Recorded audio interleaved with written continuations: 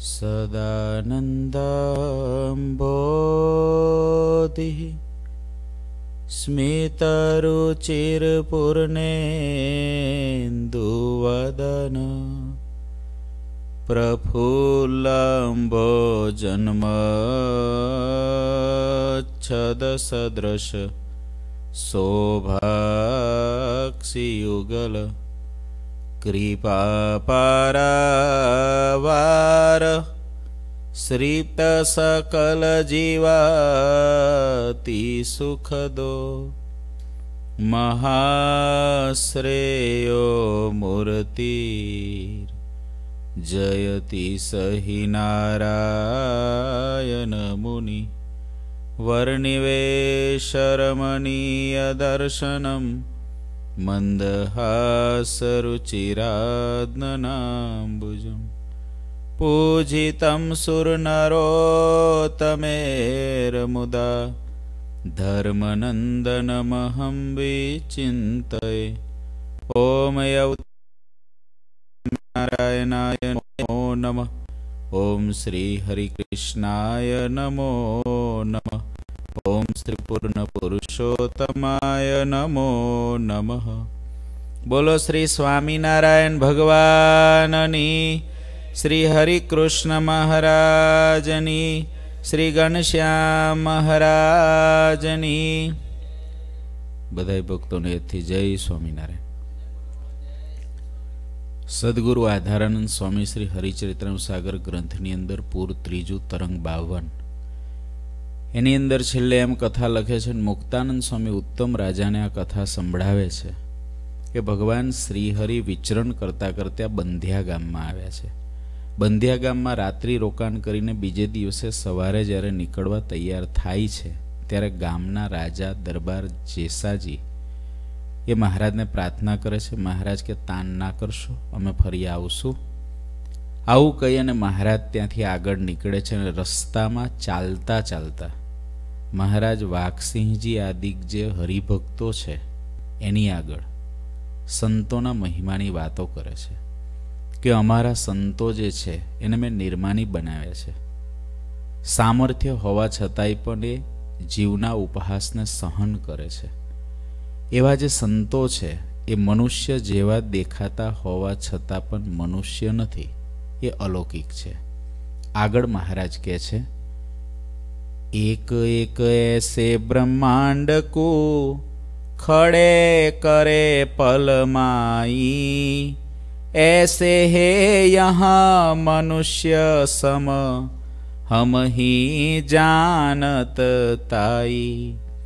चले जाय संत मग ही, सो लगे पवन लगे और। तिनको मोक्ष ही होय अबे ऐसे है बड़ जोर तिनको मोक्ष ही होय अबे ऐसे है बड़ जोर ભગવાન સ્વામિનારાયણને જીવ પ્રાણી માત્રને સંતનો મહિમા સમજાવવાનું કેટલું તાન હશે ઘોડા ઉપર ચાલતા ચાલતા રસ્તાની અંદર સંતના મહિમાની વાતો કરે છે સદગુરુ ગુણાદિતાનંદ સ્વામી કહે છે, ભગવાન અને ભગવાનના સંતના મહિમાની વાતો નિરંતર કર્યા કરવી. કારણ કે મહિમાની વાતોથી પ્રાપ્તિનો આનંદ થાય. જે આપણને મળ્યું છે, એનો મહિમા આપણે જેટલો સમજીએ, જેટલો ગાઈએ, જેટલો સાંભળીએ, એટલો આનંદ વધે. આનંદ વધે તો ભગવાન ભજવાનું સુખ આવે. અને ભગવાન ભજવાનું સુખ આવે તો મૂર્તિમાં હેત થાય. અને મૂર્તિમાં હેત થાય તો એક દિવસ સ્થિતિ થાય. અને જો સ્થિતિ થાય, તો રાત ને દિવસ સદાય આનંદમાં રહેવાય. મહારાજ કહે છે, આવા એક એક બ્રહ્માંડને એક પડવારમાં આ દરેક સંતો રચી શકે છે. મહિમા તો જો મહારાજ કહે છે, છાતી ફાટી જાય આપણી. એક એક બ્રહ્માંડને એક પડવારમાં આ દરેક સંતો રચી શકે છે. મહારાજ, એમ નથી કહેતા ગોપાળન સ્વામી રચી શકે છે. એમ નથી કહેતા મુક્તાનંદ સ્વામી રચી શકે છે. દરેક સંતો રચી શકે છે. તો જો દરેક સંતો બ્રહ્માંડને એક પળમાં રચી શકે એવા શ્રીજી મહારાજની ભેગા એ સંતો હતા, તો એમાં વિચાર કરવો જોઈએ કે મહારાજ એવું કે કે આ બધાય સાધુને અમારે મુક્તાનંદ સ્વામી જેવા કરી મૂકવા છે. આ બધાય સંતોને ગોપાળાન સ્વામી જેવી સમજણ દઈ દેવી છે કે અમારે હાચવવા ના પડે, તો વિચાર કરીએ ને કલ્પના કરીએ ગોપાળાન સ્વામી મુક્તાન સ્વામી કેવા હશે? દરેક સંતો એક બ્રહ્માંડ ઉપજાવીએ કેવા પ્રભાનંદ સ્વામી કરીને સાધુ હતા. પહેલાં વણિક હતા અને પછી એમાંથી સાધુ થયા, મહારાજનો પ્રભાવ જોઈને. સાધુ થયા ને પછી એમનો જ્યારે અંતકાળ આવ્યો ત્યારે સદગુરુ ગુણાદિતાનંદ સ્વામી બધા સંતો બેઠા હતા બાજુમાં. પ્રભાનંદ સ્વામીને અંતકાળે એવું જ્ઞાન થયું કે હું આ બ્રહ્માંડ તો મારાથી સર્જાયો, આવા તો એક એક બ્રહ્માંડને લઈને ઉડી જવું એવો હું સમર્થ છું. અને મને ભગવાન સ્વામિનારાયણે આવા ભગવા કપડાં પહેરાયા? મને ભગવાન સ્વામિનારાયણના પૃથ્વી ઉપર લોકોનો માર ખવડાવ્યો? અરે હું તો આખું બ્રહ્માંડ ફેરવી નાખું એવો છું. અને મને હાવ આવો ગાય જેવો, બકરી જેવો બનાવી દીધો સ્વામિનારાયણ ભગવાને. આવું બધું અંતકાળે જ્ઞાન થવાથી પાછલા જે પ્રસંગો હતા, લોકોએ માર માર્યા હતા, ગાળો દીધી હતી, કોઈ અપમાન કર્યું હોય, એ બધું યાદ આવવા લાગ્યું.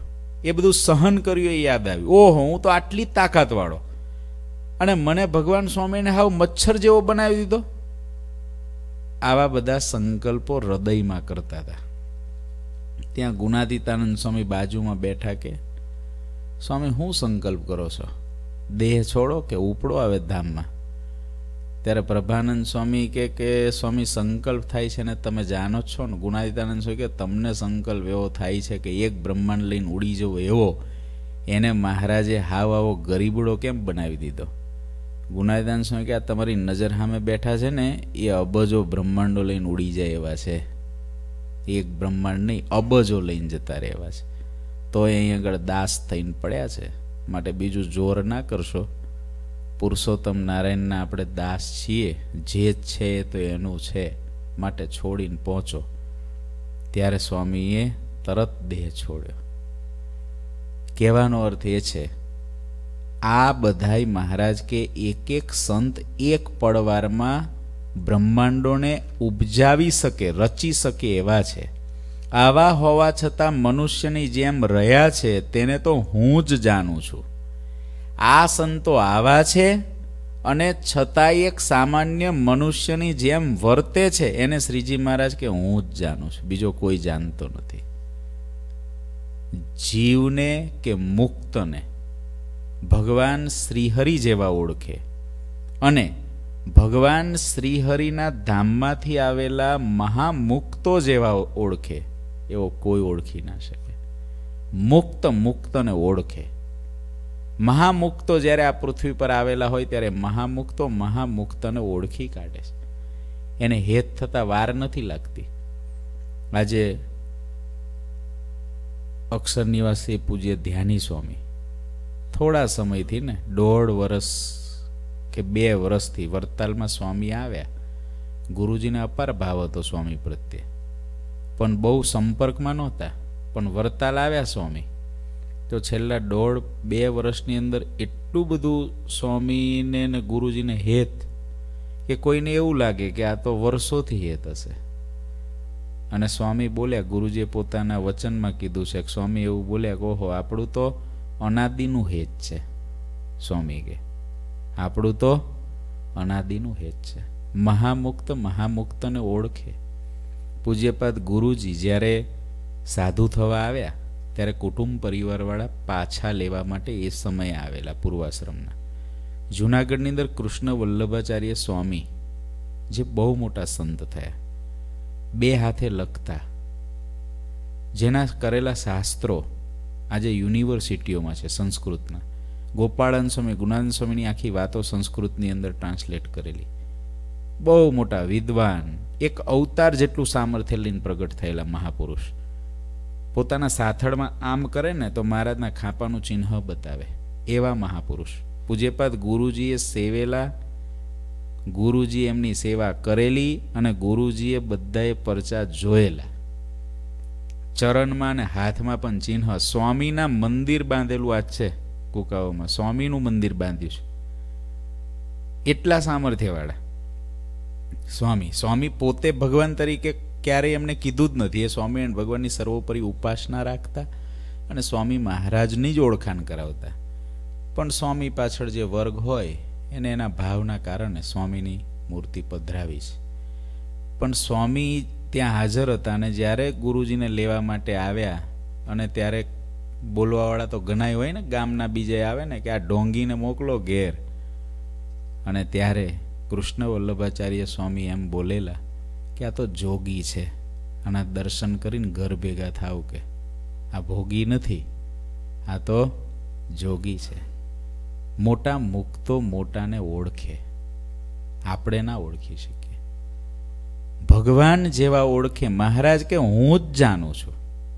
કે આ સંતો એક એક બ્રહ્માંડને ઉપજાવી શકે એવા હોવા છતાં પણ સામાન્ય જીવની જેમ રહ્યા છે. એટલું જ વિચારો કે બ્રહ્માંડના કર્તાઓ જેને આ બ્રહ્માંડ રચ્યા છે, જે બ્રહ્માજીએ આ સૃષ્ટિનું સર્જન કર્યું છે, આ બધી જ પ્રજા બ્રહ્માજીની છે, આના બાપ બ્રહ્મા છે. એવા બ્રહ્માજીને પણ પોતાની સૃષ્ટિની રચના, આ બિંદુ સૃષ્ટિ છે, એ બિંદુ સૃષ્ટિની રચના, એ રચનાની અંદર મોહ પમાડી દે એવી ભગવાનની ખતરનાક માયા છે સ્ત્રીરૂપી. ભગવાન શિવશંકર જેવા એક યતિ પુરુષ, યોગી પુરુષ, જેને કામ ઉપર વિજય મેળવ્યો, એવા એક મહાદેવજીને પણ ભગવાનની માયા મોહિની સ્વરૂપની અંદર મોહ પમાડી દે એટલું મોટું ભગવાનની માયાનું સામર્થ્ય છે. એ સામર્થ્યની સામે સિદ્ધ દશાવાળા, જેને વરતાલના ત્રીજા વચનાવતમાં વીજળી જેવા અને વડવાનળ અગ્નિ જેવા સત્પુરુષો કીધા છે, એની વાત કરું છું. સિદ્ધ દશાવાળા, જેને પરમ એકાંતિકનું ટાઇટલ શ્રીજી મહારાજે વરતાલના ત્રીજામાં આપ્યું છે, એવા મહાપુરુષોની વાત કરું છું. અંત્યના છવ્વીસમાં મહારાજે ઇન્દ્રિયો અંતકરણને ડાબીને વર્તે એવા જે સંત, એની જે વાત કરી છે, એવાની વાત કરું છું. સારંગપુરના દસમામાં ત્રણ દેહથી પર પોતાના જીવાત્માને પૃથક માનીને પોતાના જીવાત્માને વિશે પરમાત્મા અખંડ બિરાજમાન છે એમ માને છે એવા સંતની વાત કરું છું. પ્રથમના સાડત્રીસમાં મહારાજ કે એવી નિષ્ઠાવાળો જે સંત એના ચરણની રજને અમે પણ માથે ચડાવીએ છીએ એવા સંત. મધ્યના અડતાલીસમાં મહારાજ કે, આ પ્રેમાનંદ સ્વામીને અમારી મૂર્તિનું ચિંતવન છે. માટે એને સાષ્ટાંગ દંડવટ કરીએ. એવા સંત. પ્રથમના સત્યાવીસમાં મહારાજ કે, જેના હૃદયમાં અખંડ ભગવાન નિવાસ કરીને રહે જેના પગમાં ચાલવાવાળા ભગવાન છે. એવા સંત. પ્રથમના છપ્પનમાં મહારાજ કે એવા જે સંત છે એને પૂજા પ્રતિષ્ઠા થઈ જોઈએ જે બાળક જેવા રહે છે, જેને સમજણનો પણ અહંકાર નથી, ભક્તિનો પણ નથી, એવા જે સંત, એવા સંતને આ જગતમાં બ્રહ્મા આદિ ઈશ્વરો જેને સૃષ્ટિ કરી છે, એને સૃષ્ટિમાં મોહ થાય. અને આવા સિદ્ધ દશાવાળા સંતો, એને આ બિંદુ સૃષ્ટિ નહીં, દેવોની સૃષ્ટિ, ઈશ્વરોની સૃષ્ટિ, પ્રકૃતિ પુરુષની સૃષ્ટિ અક્ષર પર્યંત કોઈ પણ સૃષ્ટિના સર્જનની અંદર રતિવા પણ જેને ખેંચાણ ના થાય, એવા મુક્તો આ પૃથ્વી ઉપર મનુષ્યની જેમ, સામાન્ય વ્યક્તિની જેમ, એક સામાન્ય મનુષ્ય જેમ જીવતો એમ જીવન જીવે છે અને એમ રહે છે, રહેતા તા, રહે છે અને રહેશે. પૃથ્વી વાંજની નથી, વરતાલનું ઓગણીસમું. જ્યારે આ જીવને ભરતખંડને વિશે મનુષ્યનો દેહ આવે, ત્યારે ભગવાન અને ભગવાનના સંત જરૂર વિચરણ કરતા હોય. એનો અર્થ એ છે કે પૃથ્વી ક્યારેય પણ આ ખાલી પડી જ નથી. આ પૃથ્વી પર કોઈને કોઈ એવા મુક્તો કે જેને પંચ વિષયના રાફડાની વચ્ચે નાખી દો, પંચ વિષયના મોટા પહાડોને ખીનોની વચ્ચે નાખી દો, તોય પંચ વિષયને અડી ના શકે. માયાના પ્રવાહમાં એને છોડી દો તો એ માયાનો પ્રવાહ એને પાછો પાડી ન શકે. એવા પુરુષોત્તમ નારાયણનું બળ લઈને પ્રગટ થયેલા પુરુષોત્તમના મૂર્તિના સંબંધ રાખીને આ પૃથ્વી પર પ્રગટ થયેલા મહાપુરુષો હતા, છે અને રહેશે. એવા જે મુક્તો છે, એને મહારાજ કે હું જાણું છું. ભગવાન પોતે જાણે છે એને. સામર્થ્ય પાય કબુ નહીં છલકત, જબુ ઉદધી કે તોય બ્રહ્માનંદ કહ્યો શ્રી મુખ સે એસો જન પ્રિય મોય. સામર્થિ પામીને ક્યારેય પણ છલકતો નથી.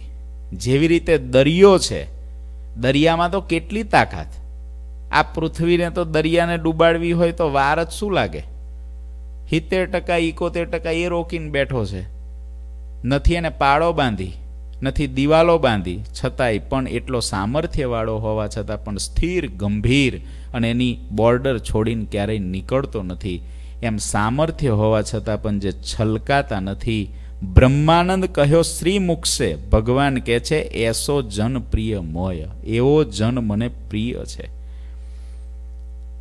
હે ભક્તો મહારાજ કહે છે, રસ્તે ચાલતા. આ સંતો રસ્તામાં ચાલ્યા જતા હોય અને તેના સ્પર્શવાળો પવન જો બીજા મનુષ્યને અડી જાય, તો તેનો મોક્ષ થઈ જાય આવા મહાન બળવાના સંતો છે. આના પવન અડે, તોય કલ્યાણ થઈ જાય. એવા સંતો છે. સ્વરૂપાનંદ સ્વામી નાગડકામાં આવ્યા.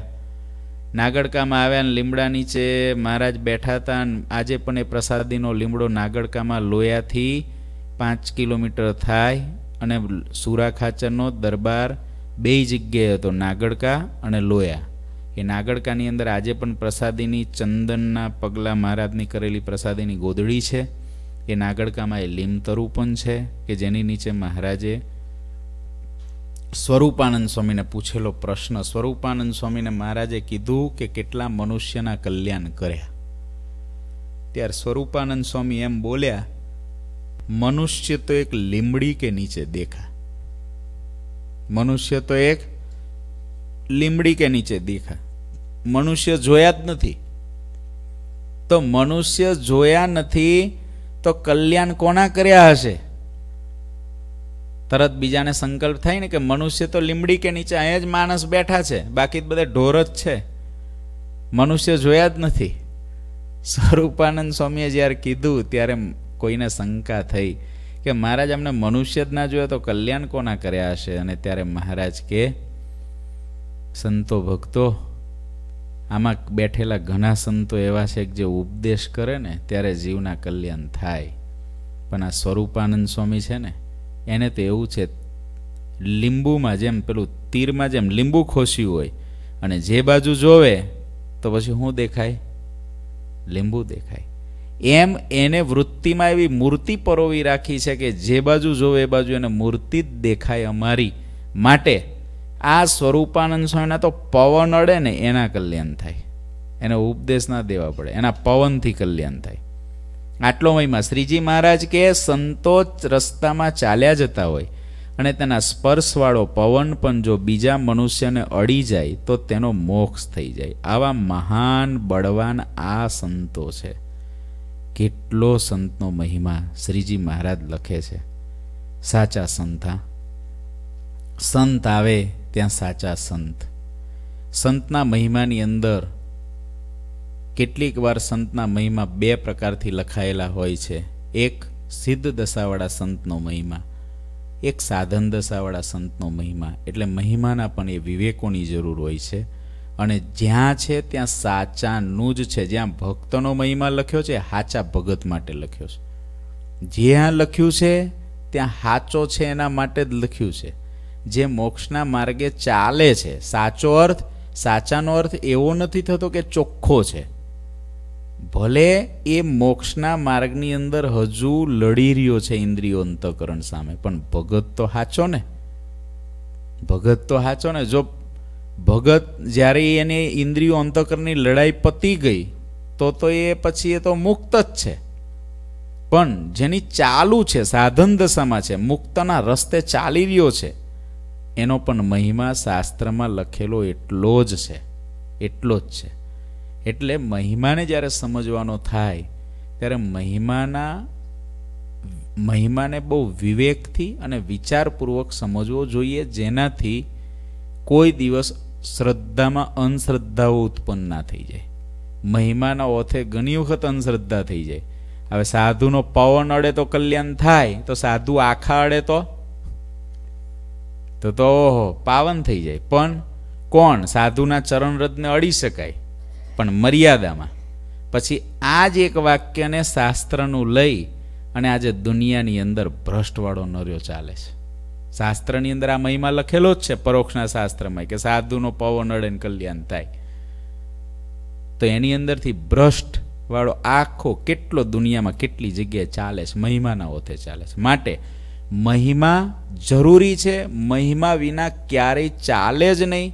મહિમા છે, એ જ આપણું ચાલક બળ છે મોક્ષ માર્ગનું, પણ મહિમા એ એવો ના હોવો જોઈએ જે ધર્મની મર્યાદાઓ તોડી નાખે. મહિમામાં ધર્મની મર્યાદા અને વિવેકની મર્યાદા હંમેશને માટે રહેવી જ જોઈએ.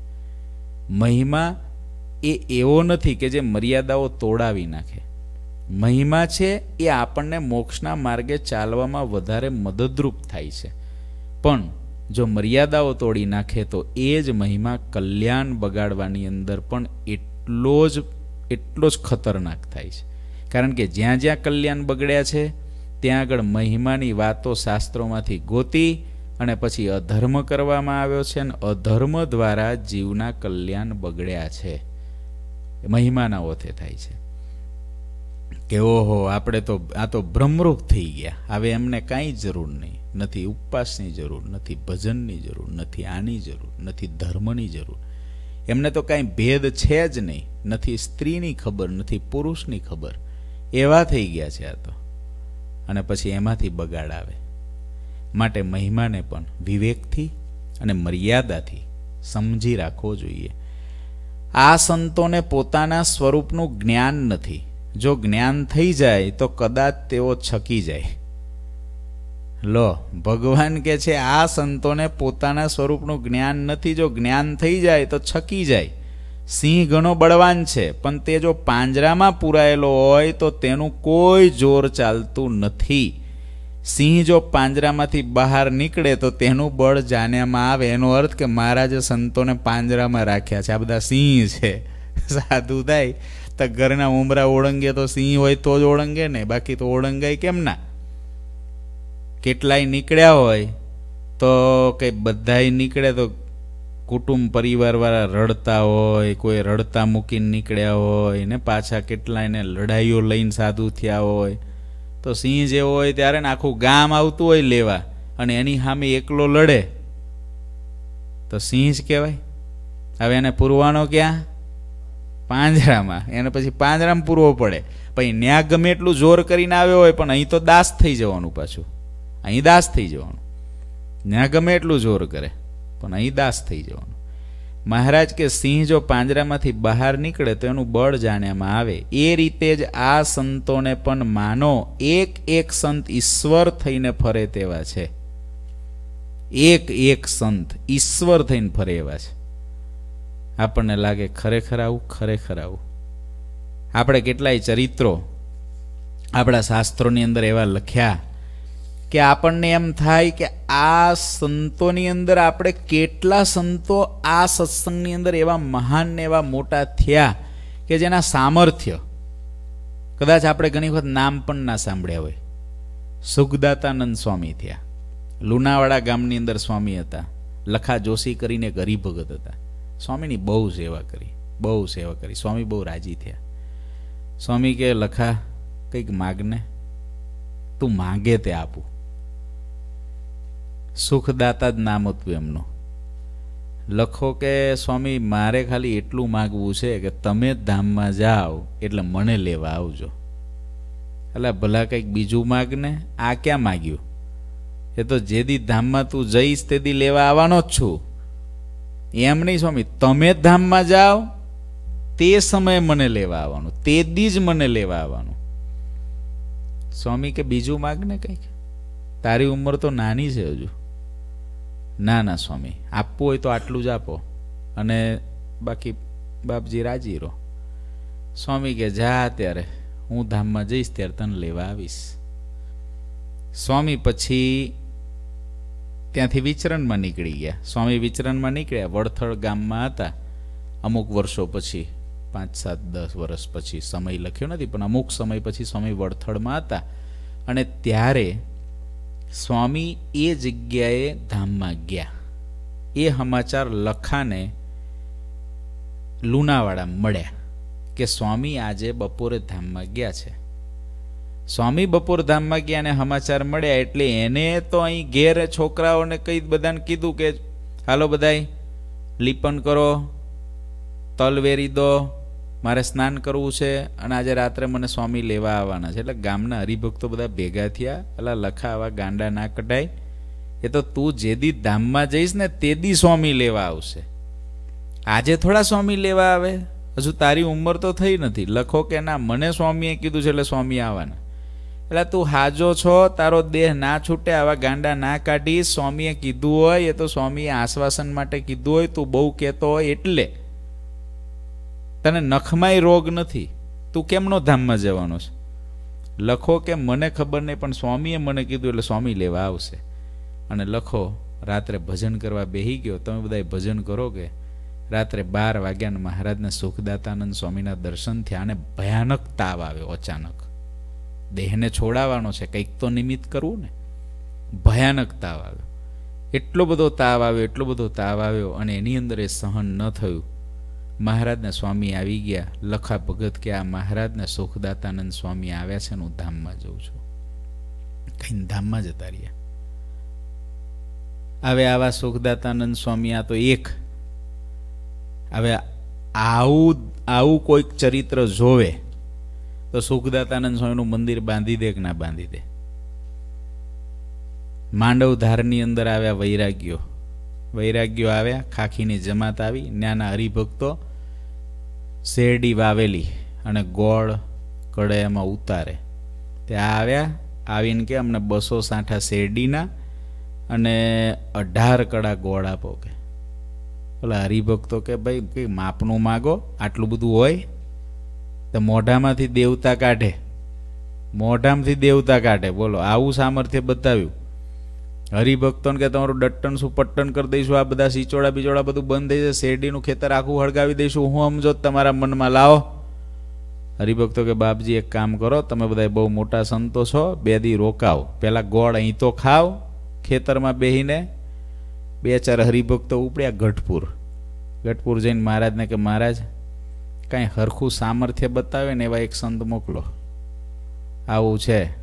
મહારાજ કે એમાં સચ્ચિદાનંદ સ્વામી ચાલશે, જાઓ. કારણ કે આ ખેતરનું કામ ને, એટલે ખેતરમાં ખેતર કરે એવા જોઈએ, ખેતી કરે એવા જોઈએ. એટલે આ તો શેરડીના ખેતરનું કામ છે ને સચ્ચિદાનંદ સ્વામીને ઉપાડો કે. સચ્ચિદાનંદ સ્વામી કે, જો, રેશમના છે ને, સૂતરના થોડા કોકડા લઈ લો કે, એટલે આમ પેલા પિલ્લા સૂતરની દોરીઓના, ત્રણ ચાર લઈ લો. હરિભક્તો કે, શું કરવાનું? સ્વામી કે, લઈ લો ને તમે. ગઢપુરની બજારમાંથી લઈને માંડવધાર ગયા, ખેતરમાં ગયા, ઓલા ખાખી બધા બેઠા હતા. ખાખીઓ જોયું, કોઈ ભગવા કપડાવાળો આવ્યો છે? કોણ આવ્યો? કે આ નવો ખાખી કોઈ આવ્યો છે? પણ આનો વેશ તો જુદો લાગે છે. સચ્ચિદાનંદ સ્વામી ઓલા ખાખી બાવણ કે તમારે ગોળ જોઈએ છે? તમારે બસો શેરડીના સાઠા જોઈએ છે? બધું મળશે. પણ સાંભળો, એ બળદ છોડી દો કે આ સિચોડાથી. સિચોડાથી બળદ છોડાવી દીધા. બળદ છોડાવીને સ્વામીએ પેલી સૂતરની દોરી બાંધી. આ સૂતરનો એક દોરો, પાતળો, એનાથી થોડો સિંચોડો ચાલે, એ લઈ અને સ્વામીએ પોતાની કમરે બાંધ્યો. સ્વામી કે જો સાંભળો આ સિંચોડો સૂતરના દોરા પર જે ચલાવી આપે તમારે ખાખી બાવામથી, તો અમારે તમને બધો ગોળ દઈ દેવો ને આ ખેતરની બધી શેરડી દઈ દેવી. હાલો, કોણ તૈયાર છો? બહુ સામર્થ્યવાળા છો ને. કોણ કરશે? તો ખાખી બાવા કે હમસે નહીં હોગા. તો સચ્ચિદાનંદ કે, હમ કરે. આ લોકોથી આ શું કરવાનો છે? ખેડૂ જેવો દેખાય છે. સચ્ચિદાનંદ સ્વામી આમ સિંચોડાને આમ આમ પ્રદક્ષિણા કરી સ્વામિનારાયણ સ્વામિનારાયણ કરતા તાળી પાડીને સિંચોડો ફરવા લાગ્યો. અહીંયા આગળથી આમ પેલી સૂતરની દોરી સ્વામી આમ આમ આમ ફરે તો આમ આખો સિંચોડો ફરે. હવે જે બળદથી ફરે એ દોર્યા પર અને સ્વામીની કમરથી ફરે. સ્વામીએ પોણો કલાક ચલાવ્યું કે આ મશીન એવું નથી કે થોડી વારમાં બંધ થઈ જાય. પોણો કલાક શેરડી નાખી રાખો કે અને આખો આમ કુંડી ભરાઈ રસની. સ્વામી કે ખાખી બાવાઓને કે હજુ ગોળ જોઈએ તમારે? તો હજુ એક બીજી વાત બીજું તમને કામ હોપું. ઓલું જે કડિયું હોય ને ગોળને, રસને ગરમ કરીને કાઢવાનું, એ કડે અને સ્વામી કે આને અગ્નિ લગાડ્યા વિના આમાં રસ નાખીને આમાંથી ગોળ જો કાઢી દો તમે, તો તમને બધો ગોળને શેડી શેડિયા બીજો પ્રયોગ. ઓલા કે હમસે નહીં હોગા? સચ્ચિદાનંદ કે હમ કરે? તો કે હા. સ્વામીએ પાછું આમ કડે અને આટો લીધો, સ્વામીને સ્વામી કઈ તાળી પાડી. તે થોડીક વારની અંદર તો જાડું છૂટું ને ગોળ છૂટો પડી ગયો. વગર અગ્નિએ ઓલા ખાખી બાવા પગમાં પડી ગયા, કાં તો કોઈ ઈશ્વર લાગે છે તો ભગવાન લાગે છે. સચ્ચિદાનંદ સ્વામી પગે લાગીને ભાગી જ ગયા. હરિભક્તો કે સ્વામી, આ કંઈ ખબર ના પડી કે તમે દોરી પર આટલો સિચોડો કેમનો ચાલ્યો ને આ બધું શું છે? સ્વામી કે જમદૂતો અહીંથી નીકળતા હતા ચાર જણા. તે ચોટલીઓ જાલી જાલીને કામે લગાડી દીધા. ગાલો ચોડો ફેરવો કે. સ્વામી કે, અહીંથી આમ જતા હતા કોકને લેવા. મેં કીધું, ઓરા આવો. મને પગે લાગ્યા કે. પગે લાગ્યા તો ચારને વળગાડી દીધા. તે પોણો કલાક ડ્યુટી કરીને ગયા કે. હવે આવા મોટા સાધુ, સચ્ચિદાનંદ સ્વામી, આના મંદિર ના થાય? જો ભગવાન સ્વામિનારાયણ ના હોય તો આ લોકોના મંદિર ના થાય. બ્રહ્માનંદ સ્વામી બાળપણમાં પોતાના મામાને ઘેર જે ખોડિયાની અંદર ઝૂલેલા ઝાડની ડાળીએ, એ વર્ષો પછી કોઈ બ્રાહ્મણને ખબર પડી બ્રહ્માનંદ સ્વામીની માતાજીએ આ જગ્યાએ ખોરિયું સ્વામીનું બાંધેલું. એ ડાળીની માનતા એ ગામના બ્રાહ્મણે કરી મારે ત્યાં દીકરો થાય. જો બ્રહ્માનંદ યતિ પુરુષ હોય તો એને ત્યાં દીકરો થયો. બ્રહ્માનંદ સ્વામીને ખાલી જે ડાળીએ માએ ઝુલાવ્યા હતા, એ ડાળીની માનતાથી જો આટલું કામ થાય, તો એ બ્રહ્માનંદ સ્વામીનું મંદિર ના બંધાઈ જાય? એને ભગવાન તરીકે દુનિયા ના પૂજે?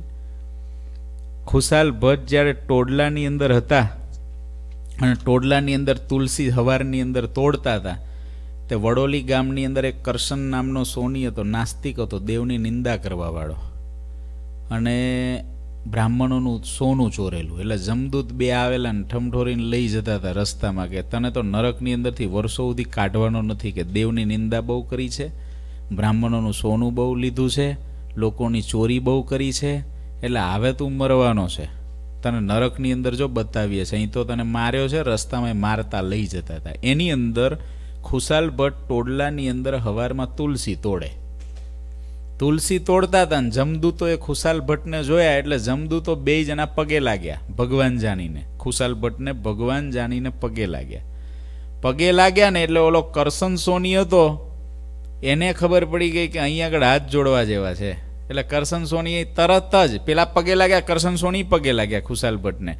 કારણ કે મને છોડાવો આ લોકોના હાથમાંથી. મને તો બહુ માર્યો, હાડકા તોડ નાખ્યા કે મારા.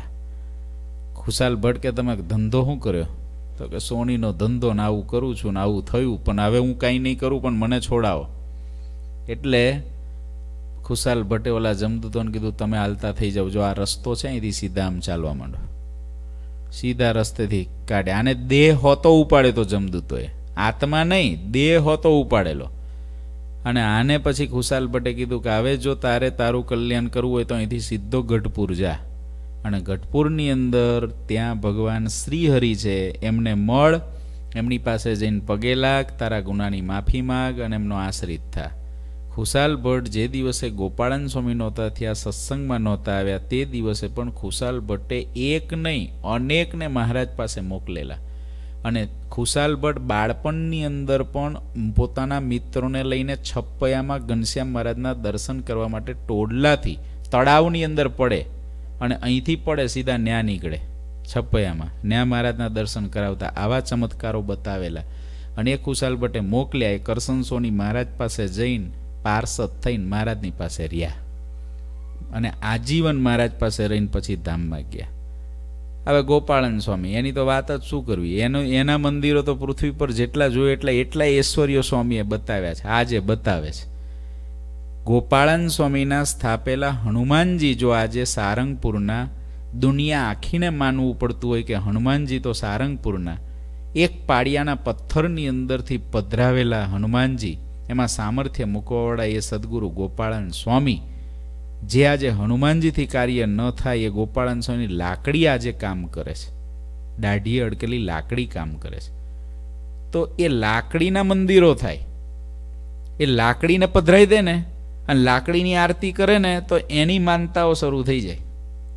એટલું સામર્થ્યવાળું તો એક નિર્જીવ લાકડું એક એવા મોટા સાધુના સ્પર્શે કરીને તો રાજકોટની બોરડીના કાંટાઓ ખરી ગયા. સ્વામીના વચને કે તારે નીચે આવા મોટા મહારાજ બેઠા, આવા સંતો બેઠા કાંટાવાળા સ્વભાવના ગયા, ત્યાં કાંટા ખરી ગયા જ કાંટા વિનાની બોરડી ઊભી છે. આટલા ઐશ્વર્યને સામર્થ્ય જેના જોવે કોઈ, એના મંદિરો કેમ ના થાય પૃથ્વી પર? આ એક હાવ કોઈ એક દેવી દેવી દેવતાઓ, હાવ શુદ્ર દેવી દેવતાઓ હોય તો એના મંદિરો નાના નાના ડેરાઓ થઈ જાય છે, ખેતરે ખેતરે. તો સતી થયેલી સ્ત્રીઓને દેવી તરીકે માનીને એના મંદિરો થઈ જાય છે, તો જે મહાપુરુષો અક્ષરધામના અનાદિ મુક્તો છે, એના તો થઈ જ જાય. આ વાત બિલકુલ અતિશયોક્તિવાળી નથી, એકદમ સાચી છે. એકદમ સાચી છે. આ સંપ્રદાયમાં જે મહાપુરુષો અત્યારે છે, પૂર્વે થયા છે, ભવિષ્યમાં થશે, એ મહાપુરુષો જે દાસ ભાવે આ સત્સંગમાં રહે છે ને, એ જો આ સત્સંગને છોડીને ક્યાંય પરોક્ષની અંદર કે ક્યાંય બહાર ગયા હોય ને, અહીં જેવું છે એવું પાડે ને, તો એના ભગવાન થઈ જાય. ભગવાન થઈ જાય, આખા સંપ્રદાયો ચાલે એની પાછળ. એવા મોટા થઈ જાય. સંપ્રદાયો ચાલે. અહીં મહારાજના શબ્દો છે ક્યારે અન્યથા ન થાય. મહારાજ કે એક એક સંત એટલા મહાન છે કે એક એક સંતની પાછળ અનેક ભગવાન, એક એક સંત ભગવાન થાય એવા છે. આ સંતોને મેં બે પાંજરામાં રાખ્યા છે. આ એક એક સંત ઈશ્વર થઈને ફરે તેવા છે. આ સંતોને બે પાંજરામાં જકડીને રાખ્યા છે. આ સંતો માટેના પાંજરા બે છે. એક પાંજરું દેહનું અને બીજું પાંજરું આજ્ઞાનું. એક દેહનું અને બીજું આજ્ઞાનું. એક દેહ આપ્યો છે, આ મનુષ્યનો દેહ. એટલે આમાંની અંદર જાણે કંઈ સામર્થ્ય છે જ નહીં, એવું જ દેખાય. પેટમાં દુખે ને માથું દુખે ને તાવ આવે ને શરદી થાય ને ખાંસી થાય ને બધું જ થાય. આ શરીર એવું આપી દીધું. અને સામર્થ્યને ઢાંકી દીધું. સ્વરૂપાનંદ સ્વામી હતા, સામર્થ્યવાળા હતા. તાવ આવ્યો. તાવ આવ્યો તો મૂકી દીધો હામાં ઓશિકામાં. સામર્થ્ય એટલું હતું કે તાવને ઓશિકા મૂકી શક્યા, પણ તાવને સહન ના કરી શક્યા. વિચાર કરવા જેવો છે ને, તાવને ઓશિકામાં મૂકવાનું સામર્થ્ય હતું, પણ તાવને સહન કરી શક્યા નહીં ત્યારે ઓશિકામાં મૂકવો પડ્યો. એ સહન કેમ ના કરી શક્યા? કયું પાંજરું હતું? દેહનું. દેહાત્મ ભાવ નહોતો એમાં, પણ શ્રીજી મહારાજ ધારે એમ વર્તાવે. એ તો જેને જે પાંજરામાં નાખવા એમાં નાખે. એટલે બે, એક તો દેહનું પાંજરું અને બીજું કે કોઈ ગોપાળન સ્વામી જેવા મહાપુરુષો દ્વારા કોઈ ઐશ્વર્ય બતાવવા હોય, કોઈ પરચા બતાવવા હોય, તો પાછું બીજું કયું પાંજરું? આજ્ઞાનું પાંજરું. જિંજાવદરની અંદર આવ્યા વ્યાપકાનંદ સ્વામી હમીર ખાચરની ઘોડી બેઠી કરીને.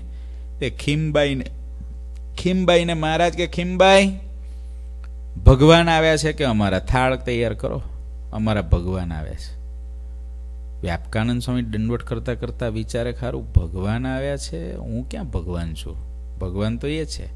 ખીમબાએ થાળ તૈયાર કર્યો ને, તે મહારાજે થાળ ગોઠવી બાજોટ ઉપર વ્યાપકાનંદ સ્વામી કે, મહારાજ, ભગવાન બિરાજો કે, થાળ જમો. વ્યાપકાનંદ સ્વામી તો આમ થોડી વાર તો હેપતાઈ ગયા કે, હારું, આ શું કરે છે મહારાજ? આ કયું ચરિત્ર? મહારાજ કે, બેસો બેસો, પ્રભુ, બેસો બેસો કે, બેસો આની પર. જમો થાળ પ્રભુ. વ્યાપકાનંદ સ્વામી કે, મહારાજ, પ્રભુ તમે છો, ભગવાન તમે છો, આમ કામ મહારાજ મારી જોડ કરો. ના ના ના ના ના ના ના, સ્વામી, ભૂલ ના કરો. ભગવાન તમે છો, અમે ભગવાન નથી. તમે ભગવાન છો. વ્યાપકાનંદ સ્વામી કે, મહારાજ, એમ કેમ કરો છો? મહારાજ કે, સ્વામી શું કામ કરીને આવ્યા. બોટાદની અંદર બહુ મોટું કામ કરીને આવ્યા કઈ? એ તો મહારાજ, હું ત્યાં ગયો, ભિક્ષા માગતો તો ત્યાં આખો દરબારગઢ બધો રોતો તો, હમીર ખાચર રોતા હતા મેં પૂછ્યું, ભાઈ, શું પ્રોબ્લેમ છે? શું દુઃખ છે?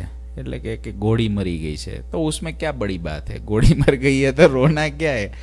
મહારાજ, મેં તો સ્વામી સ્વામી મંત્ર કહીને એક મચ્છેરનો જીવ નાખી દીધો એની અંદર. ગોળી બેઠી થઈ ગઈ. તો હસતા થઈ ગયા બધા મહારાજ. મેં એટલું જ કર્યું મહારાજ. બીજું કાંઈ નહીં.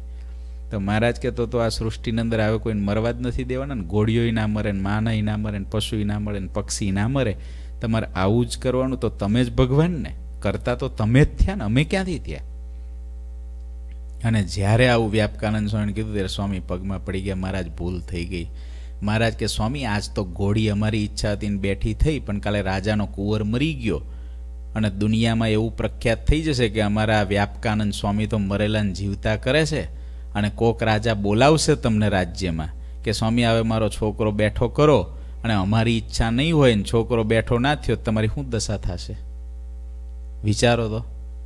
હવો મહારાજ, એ તો મારા, તમારી ઈચ્છાથી, અમારા સામર્થ્યથી એટલે આ ધંધો નહીં કરવાનો, સ્વામી. મહારાજ ભૂલ થઈ ગઈ. પણ પ્રભુ, હવે તમે થાળ જમો ને પ્રસાદી દો. પણ મહારાજે કહેવાનો અર્થ, હવે આવા વ્યાપકાનંદ સ્વામી એક ગોળી બેઠી કરી, સ્વામીનું મંદિર બોટાદની અંદર કરવું એવું કરી દે. પાછળ. આ લોકના જીવને જોવે છે શું?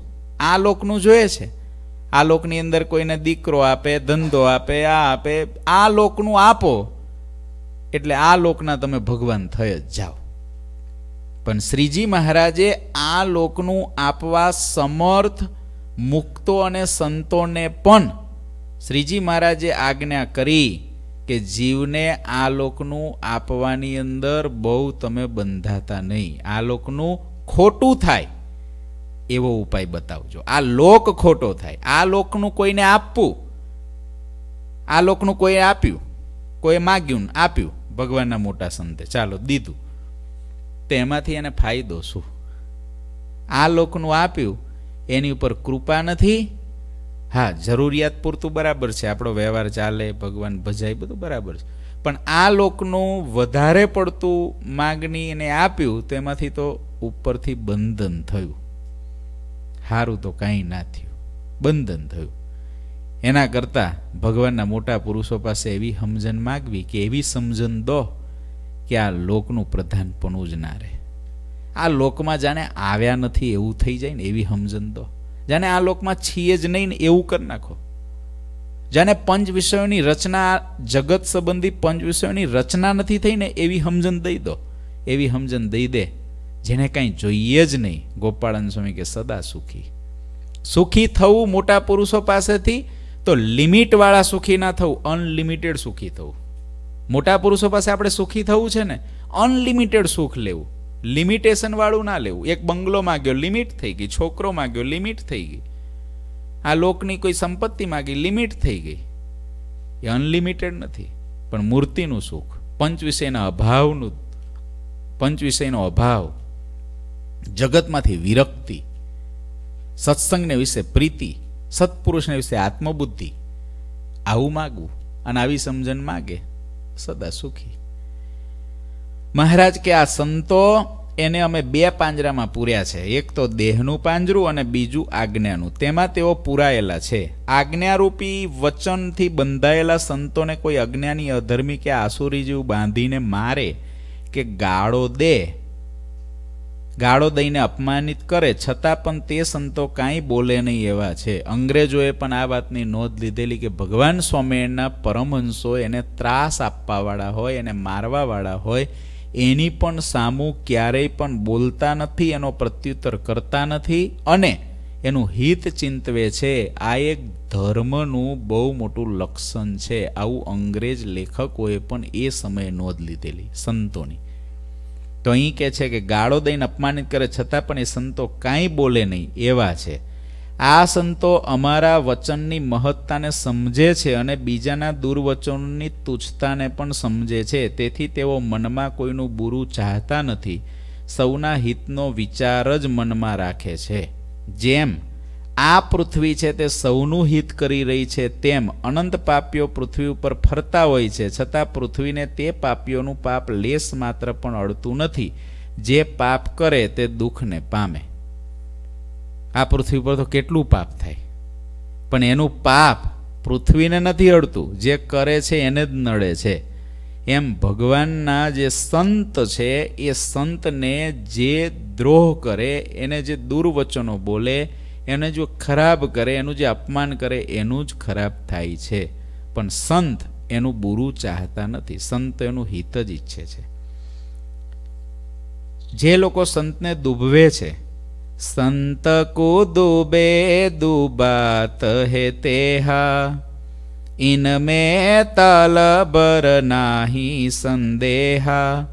ऐसे संत को दो बात है जे हो ऐसे संत को दो बात है जे हो निज कंठ काटत है ते हो નિજ કંઠ કાટત હે તેહુ. જે લોકો સંતોને દુભવે છે, તેઓ પોતાએ જ કાલાંતરમાં દુભાય છે. તેમાં તલ ભાર પણ સંશય નથી. શ્રીજી મહારાજ કહે છે, સંતને જેને દુખવ્યા, સમજી લો કે આજે સુખી છે, પણ કાલે દુખી થવાનો જ.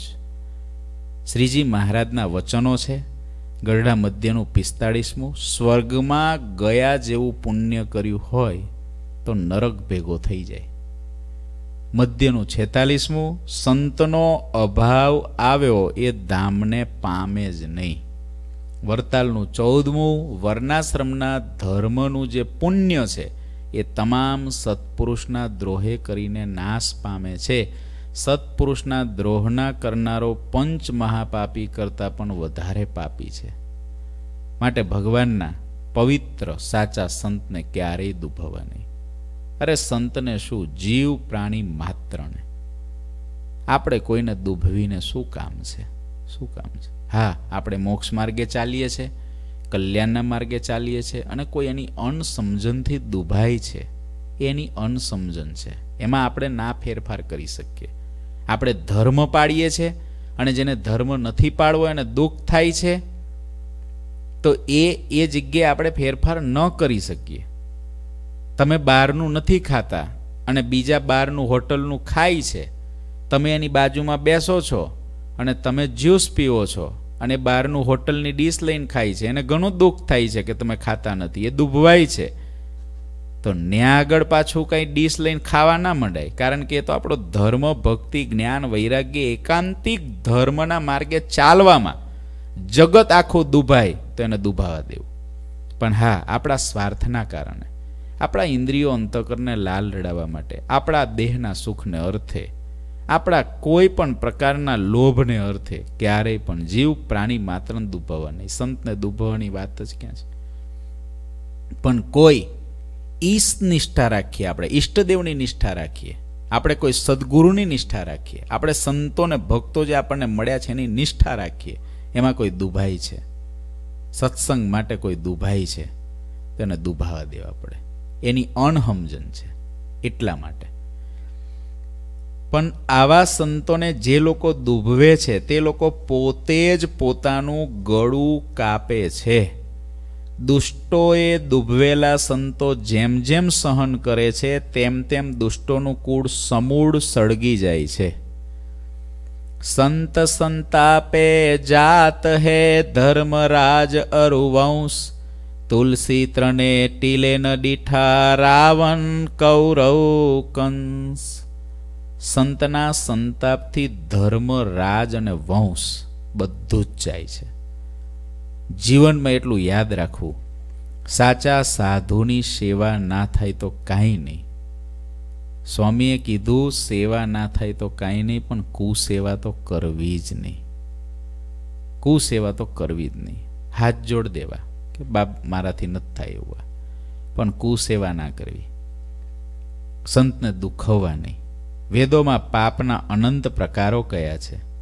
તેમાં સંતનો, સંતોના દ્રોહ જેવું કોઈ મોટું પાપ કયું નથી. દ્રોહ જેવું કોઈ મોટું પાપ નથી. હા, આ બધા વચનોનો મિસયુઝ પણ ઘણો થાય. ધ્યાન ના રાખો તો સંતને દુખાવા નહીં. હવે દુખાવા નહીં, કોઈની સ્થિતિ નથી. એની સ્થિતિ પાંચ રૂપિયા આપવાની છે. અને સંત કે તું પચીસ રૂપિયા આપ. હવે ઓલાને વચન આવે કે સંતને દુખાવા નહીં, હારું પાંચ આપીશ તો સંતો દુઃખી થાય. એટલે પચીસ આપવા પડે રાજી કરવા. એ મહિમાનો મિસયુઝ થયો કહેવાય. એ મહિમાનો મિસયુઝ થયો કહેવાય. જ્યાં જ્યાં જેનો મહિમા જે જે જગ્યાએ લખ્યો છે, એ પાત્રોએ પણ વિચારવું જોઈએ. સંતનો મહિમા લખ્યો હોય તો જે સંત હોય, એને વિચારી રાખવું જોઈએ કે આ મહિમા જે લખ્યો છે, આ મહિમા આજે હું વાંચું છું? હું સંતના પાત્રમાં છું. હું વાંચું? મને થાય કે ઓહો, સંતોનો આટલો મહિમા લખ્યો. હું પછી કહું, જો સંતોનો કેટલો મહિમા છે? હા, એની સાથે જ્યાં તમારો હરિભક્તોનો મહિમા લખેલો હોય કે ગ્રહસ્થ હરિભગત આવા છે, હરિભક્તોનો મહિમા લખ્યો હોય કાં તો દેવ જેવા છે, મુક્ત જેવા છે, એવું લખ્યું હોય. એ જ્યારે વાંચીએ ને, ત્યારે સામેવાળાને સમજાવવાનો મહિમાનો વિચાર કરતા પહેલાં જે પાત્રનો મહિમા લખ્યો છે ને, એ પાત્રોએ ખાસ વિચારવું જોઈએ આ મહિમા જે લખ્યો છે, એને લાયકાત મેં કેટલી કેળવી છે? એની લાયકાત મેં કેટલી કેળવી છે અને આ મહિમા કેટલા વિવેકથી મારે સમજ, સમજવાનો છે? એ પાત્રએ સમજી રાખવું જોઈએ. નહીં તો શાસ્ત્રોમાં લખેલા મહિમાના વચનોથી જેના માટેનો મહિમા લખાયો છે, એ પાત્ર જો એને સમજેલો ન હોય તેનો મિસયુઝ કરતા એ પોતાનું કલ્યાણ પણ બગાડે છે અને કોઈક વખત ભગવાનના કોઈક સજ્જન ભક્તનો દ્રોહ પણ કરી બેસે છે. બે થઈ શકે છે. એક હરિભગત ચા, કોફી નહોતા પીતા. વ્યસન છોડાવેલું આપણે. પછી એને જવાનું થયું હરિભક્તો સાથે જ સંઘમાં. ભેગા જ હતા. પછી અમેરિકામાં તો સ્ટોરમાં ચા, કોફી મળતા હોય છે. સવારમાં ઉઠીને પાંચ દસ જણા ભેગા થઈને ચા કોફી પીવા ગયા. તો ઓલા ભગત ગયા ભેગા. હવે એને ચા કોફીનો નિયમ લીધેલો, છ બાર મહિના પહેલાં જ. તે પેલા બધા પીવે એટલે ઓલા બધા કે, ચા કોફી તમે નહીં પીવો? આ તો ચોખ્ખી મશીનની. ઓલા કે, ભાઈ, મશીનની ચોખ્ખી એ વાત જવા દે, પણ મને સ્વામીએ નિયમ દીધો છે, મારે નથી પીવી. અને ખાસ કીધું છે કે આ તો જોગી સ્વામી જેવાએ કીધું છે કે આ તો ગધેડાનો પેશાબ છે ચા, કોફી તો. ગધેડાનો પેશાબ. નહોતો પણ સ્વામીના વચને થઈ ગયો. કારણ કે સત્પુરુષનું વચન એ શાસ્ત્ર. હવે જોગી સ્વામીથી વળી મોટા સાધુ ક્યાં ગોતવા જવાય? એ બોલે એટલે થઈ ગયો. જેટલા પીતા હોય એટલા વિચારજો. રોજ ઉઠીને ગધેડાનો પેશાબ પીવો છો. હવે એ ઓલા ભગત કે ભાઈ, મને તો આવું સમજાયું છે અને મને તો સ્વામીએ, જોગી સ્વામીના શબ્દોની કેસેટ સંભળાવી. જો આ સ્વામી બોલે. આ બની ગયેલી ઘટના કહું છું, હા? તો ઓલા કે, બધું સ્વામીએ કીધું. સ્વામી તો કે છે, બરાબર? સ્વામી સ્વામી, તમે કહો, સ્વામીએ કીધું, સ્વામી આમ કીધું, સ્વામી સ્વામી એવું નહીં કીધું, હરિભગતનો મહિમા સમજવો. એવું કીધું છે ને સ્વામીએ? કીધું છે ને ભાઈ, સ્વામી એવું કીધું છે. તો હરિભગતનું માનવું એવું નહીં આવતું? કથામાં ક્યાંય નથી આવ્યું? આવે છે ને હરિભક્તોનું માનવું? આ જો, આ કેટલા વર્ષથી? કાકા, તમે કેટલા વર્ષથી સત્સંગમાં છો? એટલે ભાઈ, હું સત્તર વર્ષનો હતો તે દિનો. આજ કેટલા વર્ષ થયા તમારા? પાસઠ વર્ષ થયા. કાકા, તમારે કેટલા વર્ષ થયા? સિત્તેર વર્ષ થયા. ક્યારના સત્સંગમાં છો? પાંચ વર્ષનો હતો તે દીનો સત્સંગમાં છું. સિત્તેર વર્ષ થયા. આ બધા ખોટા હશે. આ લોકોએ સિત્તેર સિત્તેર વર્ષ સત્સંગમાં કાઢ્યા. આ બધા ખોટા હશે. આવા વડીલોનો મહિમા તમે ના સમજો. તો તમે હાના સત્સંગી? ઓલો બોલો, કોફી પીને આવ્યો. પીને આવ્યો. મને આવીને કે, સ્વામી અહીં બની ગયેલી ઘટના જ કહું છું. આપ તમે આમાં તાલપેજમાં બધા જાણતા હોય. મને આવીને કીધું કે, સ્વામી, આવું થઈ ગયું. ભૂલ થઈ ગઈ કે, હવે શું કરવું સ્વામી? આવું બધું મને ત્યાં કીધું. તો ખરેખર હવે આ હરિભગતના મહિમાની વાત આવી, એ મહિમાના ઓથે ઓલાને ધર્મમાંથી પાછો પાડી દીધો. માટે જે પાત્રોનો મહિમા આવે ને, એ પાત્રોએ પણ વિચારવું જોઈએ કે આ મહિમા શા માટે લખ્યો છે? આ સંતનો મહિમા લખ્યો છે? એ એટલા માટે નથી લખ્યો કે સંતો આ મહિમાનો ઉપયોગ કરીને જીવોને અધર્મના માર્ગે ચડાવે. એટલા માટે નથી લખ્યો. આ જે મહિમા લખ્યો છે, એ આત્યંતિક કલ્યાણ જીવોનું થાય, જીવ ભગવાનમાં જોડાય, જીવને આ લોકમાંથી પ્રીતિ ઘટે એના માટે લખેલો છે. આ સંતે વિચાર રાખવું જોઈએ. અને સામેવાળા ભગવાનના ભક્તો છે એને વિવેકથી બધું વિચાર રાખવું જોઈએ. નહીં તો આવું થાય બધું. આ મહિમાના ઓથે થાય ને એની વાત કરું છું. સંત છે. દુષ્ટોએ દુભવેલા સંતો જેમ જેમ સહન કરે, તેમ તેમ દુષ્ટોનું કૂળ સમૂળ સળગી જાય છે. વેદોમાં પાપના અનંત પ્રકારો કયા છે તેમાં સંતોના દ્રોહ જેવું કોઈ મોટું પાપ કયું નથી. બહુ મોટું પાપ છે સંતના દ્રોહનું. સાંગાવદર ગામની અંદર મુક્તાનંદ સ્વામી બેઠા હતા. કૂવા કાંઠે હાથ પગ મોઢું સ્વામીએ ધોયું, ન્યા ખેતરનો માલિક આવ્યો. સ્વામીને કે, મારી વાડીમાં પેઠો જ કેમ મને પૂછ્યા વિના? આ મારા બળદ ભડક્યા કે તારા અહીં આવવાથી? એમ કરીને સ્વામીને મારતો મારતો વાડી બહાર મૂકી આવ્યો. મુક્તાનંદ સ્વામીને. સ્વામી કાંઈ બોલ્યા નહીં. સ્વામી જતા રહ્યા. પણ થોડી વાર થઈ હળ આંકતો તો ત્યાં ચોર આવ્યા. આવીને સીધો જ એને મારી નાખ્યો. સ્વામીના દ્રોહના કારણે આ ફળ એને મળ્યું. નિર્માણીપણાના જેવો બીજો કોઈ ગુણ તેની સમાનતામાં થોડો પણ આવતો નથી. નિર્માન ગુણ સમગુણ ઓરા, નહીં આવત તેહી ઠોરા ઠોરા. ભૂષણ અનંત કહાવત જે હે ભૂષણ અનંત કહાવત જે હે નિર્માણ સમ નહીં શોભિત કેહી નિર્માન સમ નહીં શોભિત કેહી. અમદાવાદમાં એકવાર મધ્યરાત્રિ પછી સભા વિસર્જન કરીને મહારાજ પોઢવા પધાર્યા હતા. ત્યારે સંતો એકલા જ બેઠા હતા. એટલે મહારાજે સંતોને પોતા પાસે બોલાવીને પૂછ્યું કે સંતોના અનંત શુભ ગુણો છે, એમાં મુખ્ય ગુણ કયો? સંતોને જ પૂછ્યું. સંતો કે કયો ગુણ મુખ્ય અને કયો ગુણ ગૌણ, એ અમને કંઈ ખબર પડતી નથી. સોનાનો ઘાટ નામથી બધા જુદા જુદા છે. બધું સોનું જ છે. બધા ગુણ સોના જેવા જ છે. પણ તમે ચોકસી છો. તમને ખબર પડે કે શું, કયો ગુણ મોટો. કૃપા કરીને કહો. ત્યારે મહારાજ બોલ્યા, હે સંતો, સંતોના અનંત શુભ ગુણો છે. તેમાં નિર્માણ ગુણ મુખ્ય છે. સાધુતા એ દાસત્વ અને નિર્માણીપણાના આધાર ઉપર છે. સાધુતાનો ઓપ, એનો પાયો નિર્માણીપણું છે. અહંકારે રહિત દ્રષ્ટિ, અહંકારે રહિત વાણી, અહંકારે રહિત વર્તન, અહંકારે રહિત બોલવું, ચાલવું, હસવું, બેસવું, ઉઠવું, એનું નામ જ સાધુતા. દાસત્વ ભાવનો દોરો સતત સોંસરો ચાલ્યો જાય, એનું નામ જ સાધુતા. હે સંતો, જ્યાં સુધી શરીરમાં પ્રાણ રહે, ત્યાં સુધી જળભરત અને સુખદેવજીની પેઠે તમારે નિર્માણ ગુણ મુખ્યત્વે રાખવો. જ્યાં સુધી પ્રાણ રહે ત્યાં સુધી. એટલું જો રહેશે, તો જીવના કલ્યાણ થશે અને તમારી શોભા વધશે. નિર્માણીપણાના જેવો બીજો કોઈ ગુણ તેની સમાનતામાં થોડો પણ આવતો નથી. આભૂષણો અનંત પ્રકારના કહેવાય છે. પણ નિર્માણીપણા જેવું બીજું કોઈ આભૂષણ શોભતું નથી. આભૂષણમાં આભૂષણ, નિર્માણીપણું, સંતો માટે. ચિંતામણી એક શ્રેષ્ઠ નિધિ કહેવાય, પણ બાળકને તેનું જ્ઞાન નથી. તેથી તે ચિંતામણીને બીજા પથ્થર જેવો જ પથ્થર માને છે. તેમ સંત પણ ચિંતામણી જેવા છે. પણ લાગે કેવા? મનુષ્ય જેવા. પણ છે કેવા? ચિંતામણી જેવા. બોલો, કેટલી ચિંતામણીઓ આપણા હાથમાં છે? તોય આપણે ચિંતવી નથી શકતા હરખું. ચિંતામણી આપણા હાથમાં જ છે. સાચા સંત છે ચિંતામણી જેવા. તેથી તે ચિંતામણીને બીજા પથ્થર જેવા પથ્થર માને. જે ચિંતામણીનું મહત્વ સમજે છે, તે તેને એક પડવાર પણ દૂર કરતા નથી. ચિંતામણી હાથમાં આવે, ઘરની બહાર નીકળે તો છોડીએ. હારે નારે જ લઈને ફરીએ.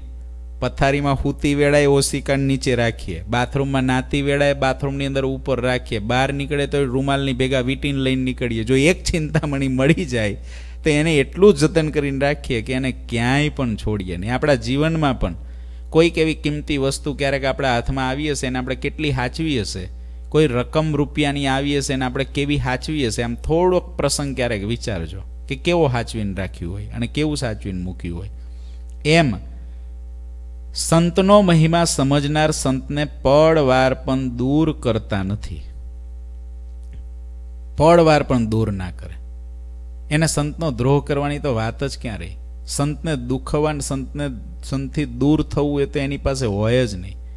બ્રહ્માનંદ સ્વામીનો એક છંદ લખેલો છે, શ્રી ઘનશ્યામ કહે સુત, સુન નારદ, અંતર શુદ્ધ મેરો મત યે હે. ઘનશ્યામ એટલે મહારાજ પોતે કહે છે કે, મારો મત કયો છે?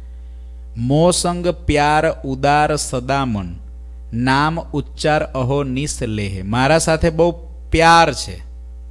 મારી સાથે બહુ હેત છે, મહારાજ કે છે. મારી અંદર મન રાખે છે.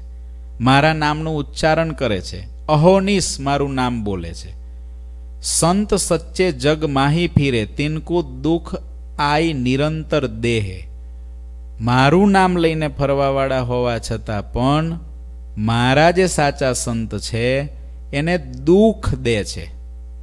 બ્રહ્મ મુનિ ભગવંત કહે સોય, મોય ભજત પુની નરક મેં જઈએ. તોય બ્રહ્માનંદ સ્વામી કે, મહારાજ એવું કહે છે કે, મને ભજીને પણ એ ક્યાં પહોંચે છે? નરકમાં પહોંચે છે. આટલું સંત દ્રોહનું પાપ છે, સાચા સંત. એને દુખવવાનું પણ એટલું પાપ છે. અને જે એ સંતને ચિંતામણી જેવા સમજે છે, એ પળવાર પણ. સંતને દૂર કરતા નથી, નજીક જ રહેવું ગમે છે ને અહીં બધા તમે એવા જ છો ને, સંતોથી દૂર રહેવું ગમતું જ નથી. કાઢવા પડે રાત્રે કે જાવ આવે ઘેર જાઓ. બાકી ખરેખર આમાં લખ્યું આપણને દેખાય. આ દાદાઓ ત્યાં રહેવા આવી ગયા. રહેવા તો સાધુ ભેગા જ આવે ને. હમણાં સાધુ ના હોય તો અઘરું પડે. સાધુ ભેગા જ રહેવા આવે, પછી ભેગા મહારાજ મળે. એટલે કીધું કે જેને સંતનો મહિમા સમજાય છે, સંતથી પળવાર પણ દૂર રહેતા નથી. આવી વાતો કરતા શ્રી હરિ પીપળિયા ગામ સુધી આવ્યા. બોલો, આખા રસ્તાની અંદર સાધુના મહિમાની વાતો કરી અને પીપળિયા ગામ આવ્યા. આપણે પણ જ્યારે રસ્તે ચાલતા હોઈએ ત્યારે મહિમાની વાતો કરવી.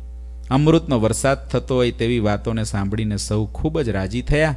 પીપળિયા ગામના હરિભક્તોને શ્રીહરિ પધાર્યા છે. આવા સમાચાર મળ્યા. તુરંત તેઓ બધા ઢોલ સરનાઈ વાજિંદ્ર વગાડીને સન્મુખ ગયા. બધા ભક્તો શ્રીહરિના ચરણમાં પડ્યા, સૌ પ્રેમમગ્ન થઈ ગયા હતા. તેમને શ્રીહરિ ઉપર ઘણું હેત હતું. શ્રીહરિએ ત્યાં નદીનું સુંદર નિર્મળ જળ દેખ્યું. એટલે નદીના કિનારે થોડીવાર બેઠા, રેશમી ગાદી બિછાવી દીધી, એટલે શ્રીહરિ તેના ઉપર બેઠા બુકાની બાંધી લીધી, એક હાથમાં રૂમાલ રાખ્યો હતો, બીજા હાથમાં મોતીની મઢેલી છડી હતી. ધોતિયું ઢીચણ સુધી બાંધી લીધું હતું. શ્રીહરિએ પગે લાગતા ભક્તોને પૂછ્યું, તમે અત્યારે સામે આવ્યા છો, પણ તમારું નામ અને જ્ઞાતિ કઈ છો? અમે તમને ઓળખતા નથી. હું નામ તમારું? ત્યારે લક્ષ્મણ ઠક્કરે કહ્યું, અમે ઠક્કર એટલે લોહાના કહેવાઈએ. અમને ઠક્કર કે લોહાના ગમે તે નામથી બોલાવાય. અમારી જ્ઞાતિ જે કહેવાય છે તે બધા જનોઈ પહેરે છે. મૂળ અમારી જાતિ ભાટિયા છે. તેમાંથી અમે ઠક્કર જ્ઞાતિના કહેવાયા. પહેલાં અમે બધા ક્ષત્રિય કહેવાતા, એમાંથી ભાટિયા, ઠક્કર અને લોહાના ત્રણ થયા. આજે જેઓ ખોજા કહેવાય છે, તેઓ પણ અમારામાંથી થયા છે. પ્રભુ, હવે તો આપનો યોગ થયો એટલે આ સંસાર સાગરમાં ભટકવાનો રોગ મટી ગયો. હવે ખોજાઈ ગયા લોહાના ગયા ઠક્કરાઈ ગયા. હવે તમે મળી ગયા એટલે પૂરું થઈ ગયું. પછી શ્રીહરિએ સ્નાન કર્યું, નવું પીતાંબર પહેર્યું. ભગવાન કે ભગવાનની મૂર્તિ તેને બાલમુકુંદ કહેવાય. બીજાને સેવાની રીતિ બતાવવા માટે શ્રીહરિએ બાલમુકુંદની પૂજા પ્રેમથી કરી. પોતાની રીતને તો બધી રીતે પોતે જ જાણે છે. બીજો માણસ ભલેને ચાર વેદોને ભણ્યો હોય પણ શ્રીહરિની રીતને જાણી શકતો નથી. સંતો સ્નાન કરીને તૈયાર થયા ત્યારે શ્રીહરિ ઘોડે સવાર થયા. અનંત ભુવનના આધાર શ્રીહરિએ તે સમયે બધા જરકરસી વસ્ત્ર પહેર્યા હતા. આગળના ભાગમાં ઢોલ વાગતા હતા, સંતો કીર્તન બોલતા હતા. ત્યારે મહારાજાધિરાજ શ્રીહરિની છબી અમૂલ્ય બની હતી.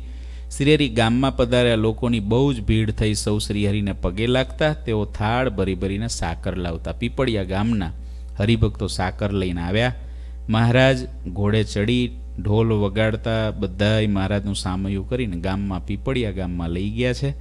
સાકર લઈને બધા સામા આવ્યા છે. ઇતિ શ્રી સહજાનંદ સ્વામી શિષ્ય સિદ્ધાનંદ મુનિ વિરચિત શ્રી હરિચેતન સાગરના તૃતીયપુરમાં બંધ્યાથી પીપળિયા પ્રયાણ માર્ગમાં દરબારો અને સંતોનો મહિમા કયો? એ નામે બાવનમો તરંગ સમાપ્ત થયો. શ્રી ઘનશ્યામ મહારાજની જે